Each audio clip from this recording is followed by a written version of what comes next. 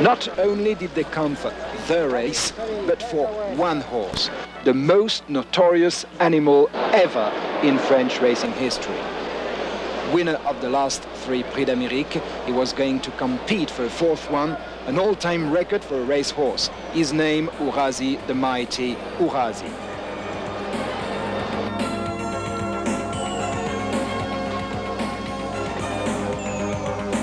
Three restaurants are opened on each racing meeting at Vincennes. Located at the top of the grandstand, with a perfect view on the 2,000 meters dirt track, they all together can welcome 1,000 customers.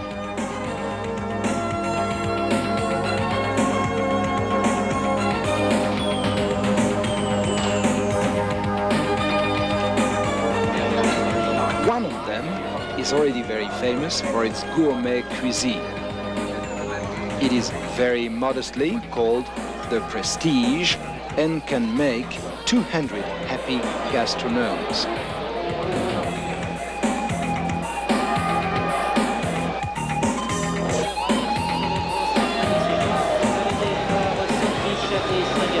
très détaché de Salzbourg avec Sir The weather has been exceptionally mild on the north of France this winter and the 29th of January was a warm, sunny and misty afternoon.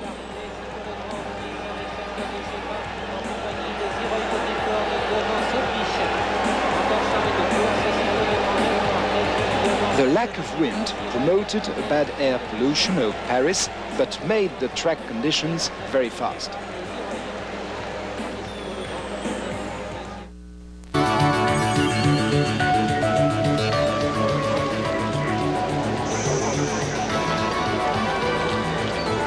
Vincennes is the first trotting racetrack to be visited by a president of the Republic in France. 15 minutes before the post time, Mr. François Mitterrand is welcomed by Count Pierre de Montesson, chairman of French Trotting Jockey Club. From the honor stand, they attend the Republican Guard parade. Now watch carefully the drummer riding the grey horse. While using his hands to beat the drums, he drives his horse with the feet.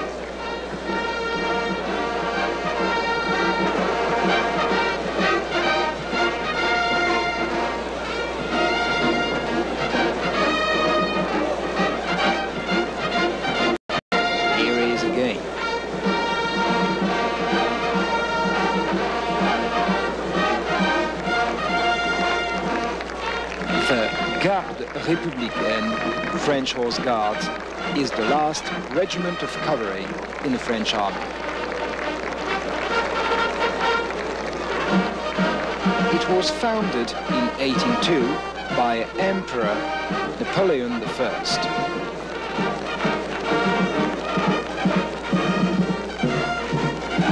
They have 514 horses, basically used for presidential escort.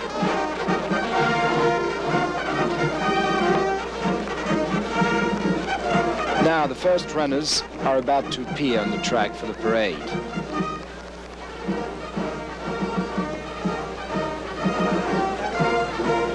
Here comes Hollyhurst for Italy. Quiton du Corral, a French outsider. There he is. Festongal, another Italian challenger.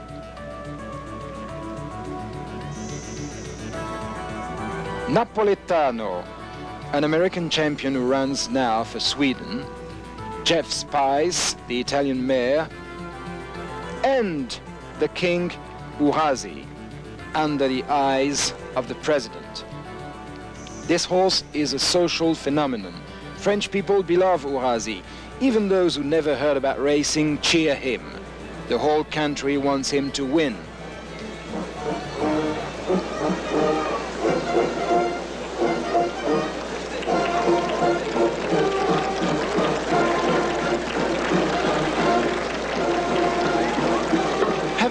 Who opens the parade. Doesn't he remind you something? Now, let me introduce the 18 runners of the world's most famous trotting race. First, you read the name of the owner, the earnings of the horse in prize money, and his record, not on a mile, but reduced on a kilometer. Below appears the name of his driver and his winnings. The first two runners have absolutely no chance on four. Number three is Kébir de Chenu, a good performer but not quite that class, often weak at the start. Number four, Ouragan Céleste, a good stayer, but the field is too high for him. Number five, Pussycat, a nice mare who likes to go in front. She has very little chance. Number six, Quilon. Game and consistent, he was fourth in a trial race. Not likely to do much better. Number seven, Quiton du Corral, the only French horse to have beaten Ourasi this year. His form hasn't been so good lately. Number eight, Prince Royal, very prominent last winter, was quite discreet this season, hasn't shown a glint of improvement. Number 9, Queila Gédé. Younger, she was a queen of mounted races. She's done very well in harness since last summer, and she could be a real danger. Back to the crowd and to Ourasi on his heating before the race.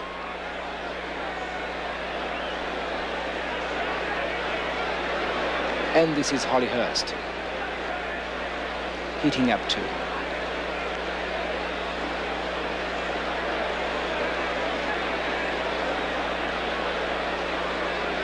Now back to the other nine runners with number 10 Quartz. Hasn't done anything for a long time. Hard to fancy. 11. Rêve du Don. Very impressive winner of mounted championship. Prix de Cornulier is considered as one of the fiercest opponents to Ourasi. Number 12, Hollyhurst.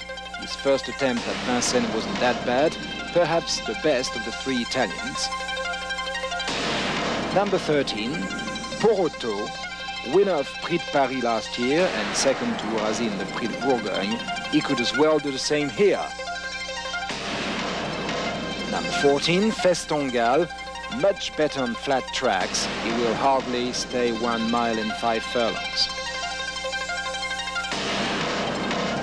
Number 15, Napoletano, American bred Swedish challenger of great class.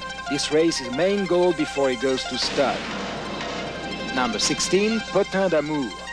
Very disappointing lately. He was Ourasi's best rival two years ago. 17 Jeff Spies. She has a lot of speed, but is very inexperienced on this track, which is a real handicap. And finally, number 18, Ourasi. Useless to introduce him, the Heart of France beats for him. He aims to win a fourth Prix d'Amérique, a feat that has never been done before.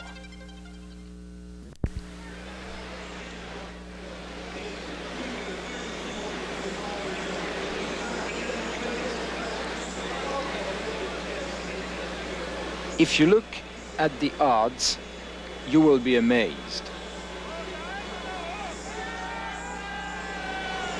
Most of the runners start at 100 to 1. The reason for so many long prices is again very simple. Ourasi. Is odd 10 to 1 on means that if you bet $10, you will get 11. This records crusher holds another one. Never a horse has drained so much money on his chance. And owing to Ourasi, the 1989 Prix d'Amérique beats the stakes record for one single race with more than 53 million wagering. Under the starters' orders, and they're off. Festongal is not used to the rubbers and breaks the first time. In the meantime, Potin d'Amour takes a flying start to be in the lead now from Kébir de Chenu, then Quilon, and Ourasi is only 6th 7th in the rail side. It's Potin d'Amour, a length clear from Quilon, Quiton du Corral and Queila Gédé making progress in the outside, while Kébir de Chenu is in the rail, and Ourasi. Now they're coming past in front of the grandstand for a first time, and it's still Potin d'Amour in the lead, with Quiton du Corral and Queila Gédé and Quilon. Ourasi now is coming. Ourasi is coming in fifth position, and Porto is moving very rapidly in the outside.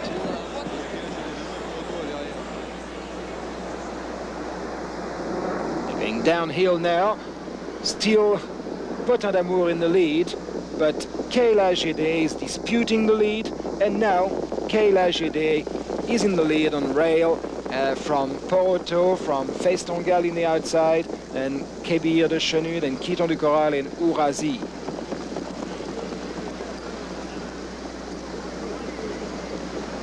Festongal, the Italian, breaks another time and will be disqualified. As they're going uphill now, it's still Queila Gédé in the lead, half a length from Porto, Potin d'Amour is third in rail, Ourasi is fourth, then comes Napoletano, Quiton du Corral, Quartz, Quilon together. Still Queila Gédé number nine in the lead. Queila Gédé going very, very easily with Roger Baudron not asking her any kind of effort. You can see that Roger really controls the race. Porto, the horse with the yellow bonnet, is second. Ourasi, already under pressure, tries to keep his place in third, while the pacemaker, Queila Gédé, trots light and smooth, and the Italian Holly Hurd spits fire in the outside, but won't last long. 800 meters from home, still Porto and Queila Gédé making the running from Ourasi in the outside, Potin d'Amour still in the rail, Quiton du Corral, then Hollyhurst, then Napoletano, then Prince Royal, Quartz and Quilon. And in the last bend, about 500 meters from home, it's still Queila Gédé going very easily in the rail from Porto, then Ourasi, but Ourasi is whipped. First time of his career that he is whipped in the last bend. This is very bad sign for Ourasi. Queila Gédé, Porto and Ourasi together in a straight. This is the stretch and Ourasi is coming up in the outside. Will he beat Queila Gédé? But Queila Gédé still maintains in the rail. Queila Gédé is the winner of the Prix d'Amérique. Ourasi will be second. Now he's third. Beaten, beaten on the post by Potin d'Amour in the last stride. What a surprise. Queila Gédé to win the Prix d'Amérique at more than 50 to 1. What a surprise to see this seven years old mare win the greatest classic for trotting in France and the world.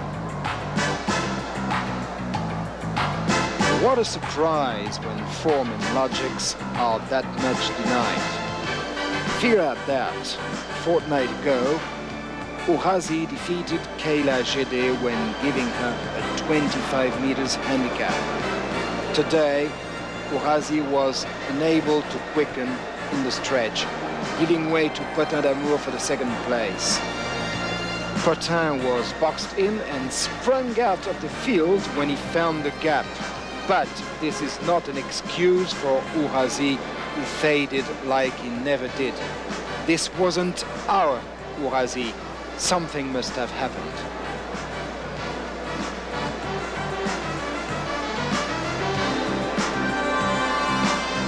The Prix d'Amérique is the most beautiful reward this man could dream of. and dream is the right word for Roger Baudron, 50, trainer and driver of the winning mare Queila Gédé.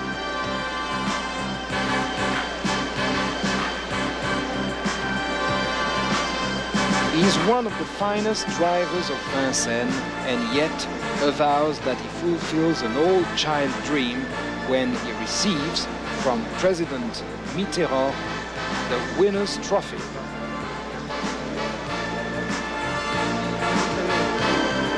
His smiling wife stands beside him while congratulated by Pierre de Montesson. Both are cheered by the crowd just recovering from defeat baby. Being experienced doesn't prevent him to be sensitive. Raj can't avoid tears of joy when going down to the stables to kiss his mare.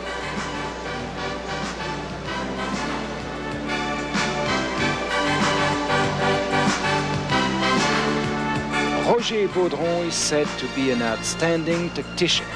Some people swear he has a clock in the head. As a matter of fact, Queila Gédé has settled a new record for the Prix d'Amérique with a kilometric reduction of 1 minute 15 seconds 3 tenths, which also is the record of the distance at Vincennes. On such a track with ups and downs, it's really something.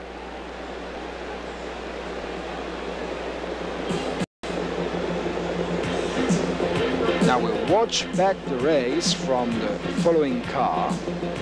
You see that Potin d'Amour is soon in the lead, but he doesn't want to stay in the lead because this horse needs to wait in order to finish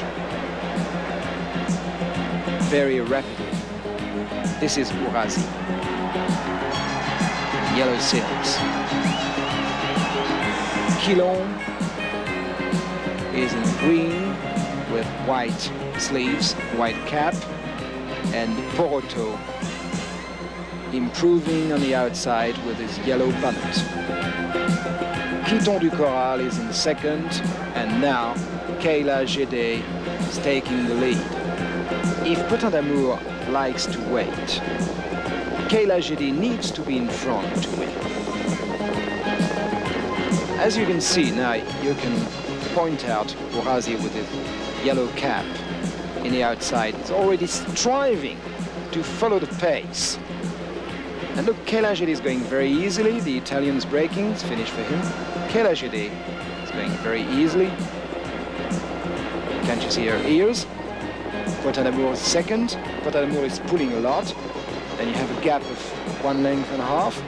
And Ourasi is trying to make ground in the outside, but he hasn't got the gait of his great days.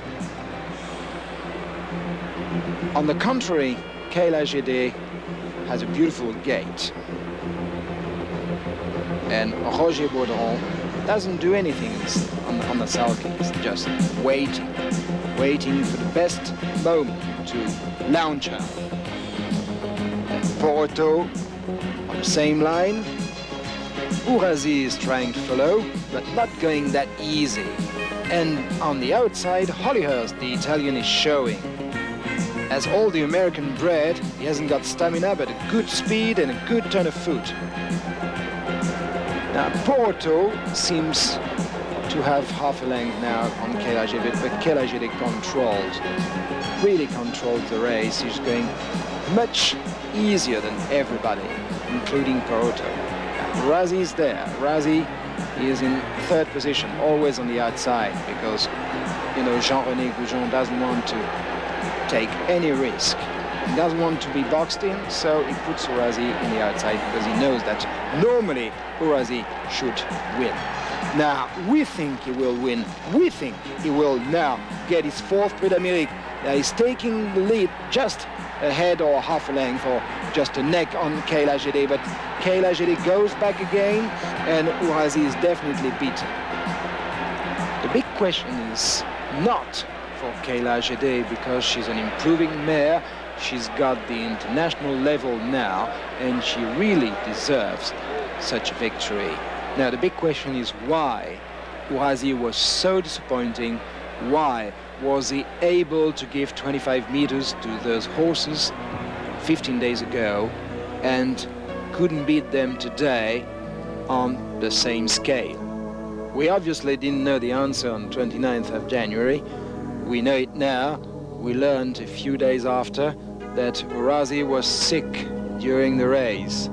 He had he suffered from colics, colics, very bad disease for a horse, not that serious for him, but this prevented him from winning his fourth Prix d'Amérique.